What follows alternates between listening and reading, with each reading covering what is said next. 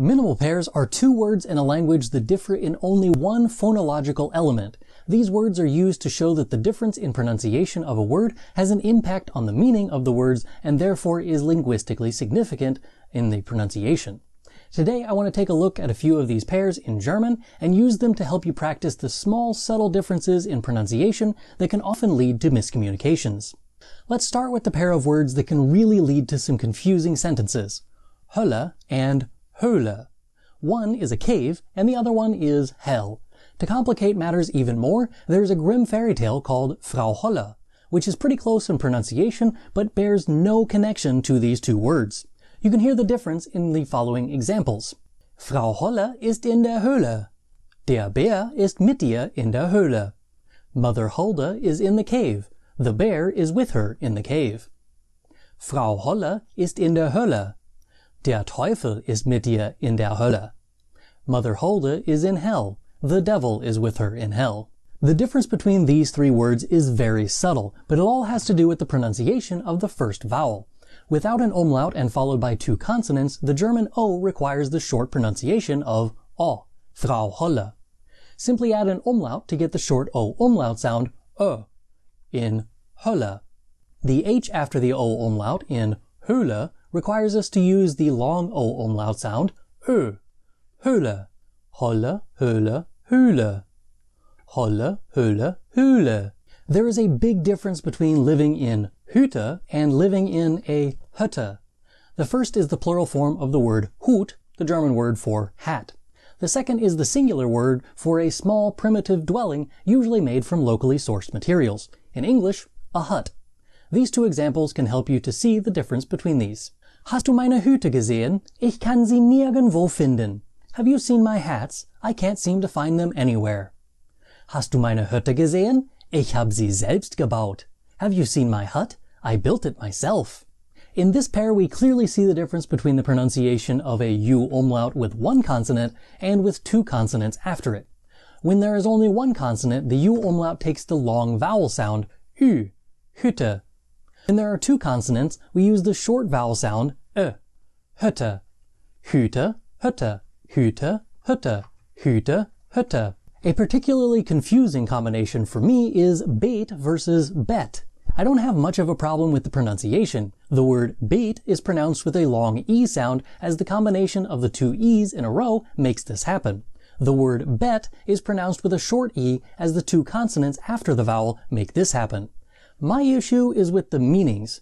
Beet in German refers to an arrangement of plants that in English we call a garden bed. You could also use it as Gartenbeet. Bett, on the other hand, is a big, soft, usually rectangular thing that you sleep in, called in English a bed. This means that we have two words that are both translated with the English word bed.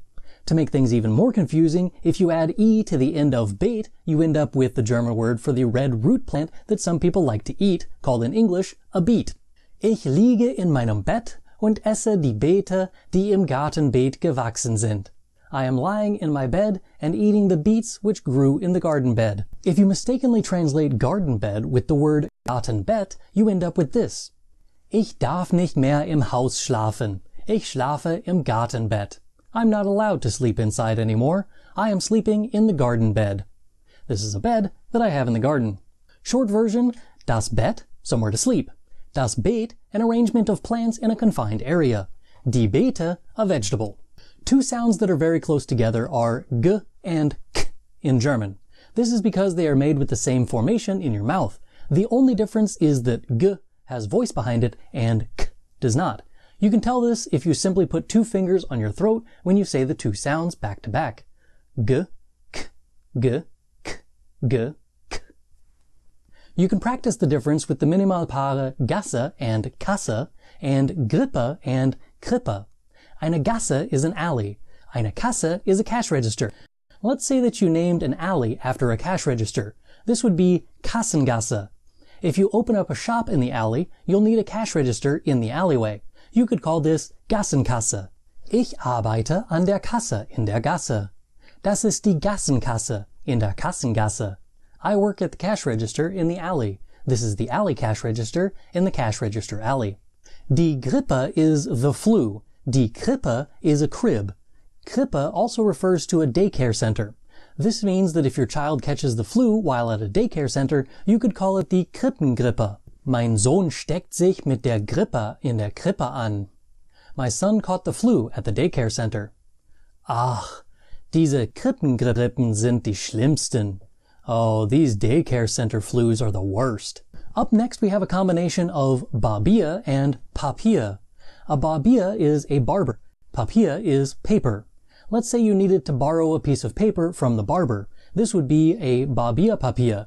If this barber is made of paper and or trims the paper hairs on paper dolls, he would also be a Papier Barbier.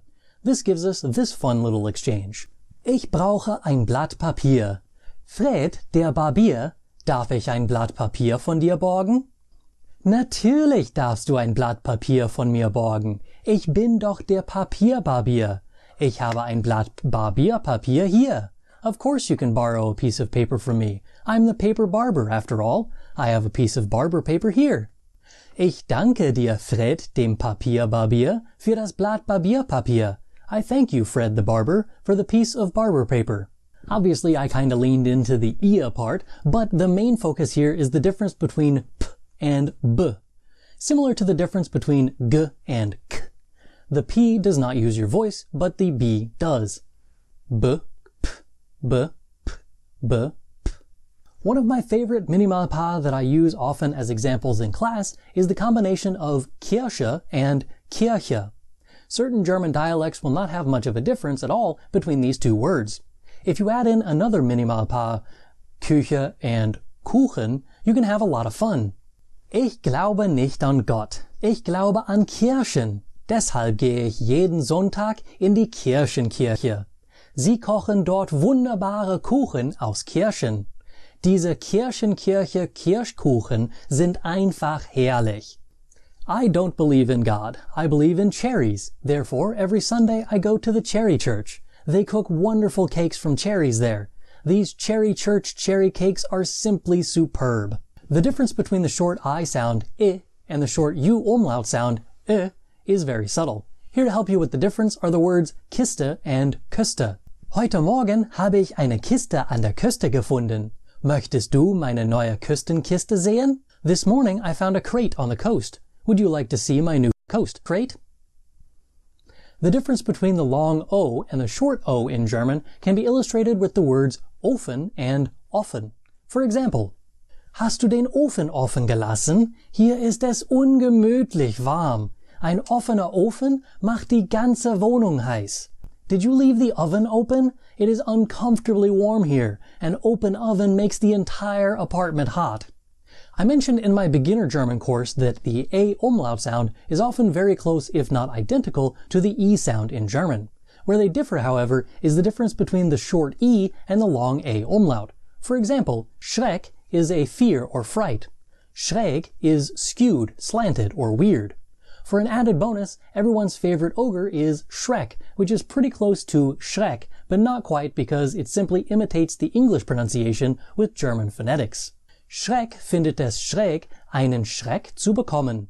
Shrek finds it weird to receive a scare. Sometimes the diphthong or combination of vowels I and E can sound incredibly similar to the long U umlaut sound Ü.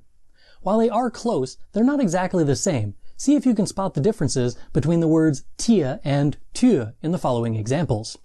Der Türmacher mag Tiere. Er installiert eine Tiertür, damit das Tier durch die Tür kommen kann, ohne dass der Türmacher die Tür für das Tier öffnen muss. The doormaker likes animals. He installs an animal door so that the animal can come through the door without the doormaker having to open the door for the animal. My last example for today is the difference between the long U sound in Uhr and the long O sound in Ohr. Ich habe eine Uhr in meinem Ohr. Das ist meine Ohrenuhr. I have a clock in my ear. This is my ear clock. Now it's your turn. Write your own sentences using Minimalpaare in the comments down below. I look forward to reading what you come up with. Das ist alles für heute. Danke fürs Zuschauen. Bis zum nächsten Mal. Tschüss!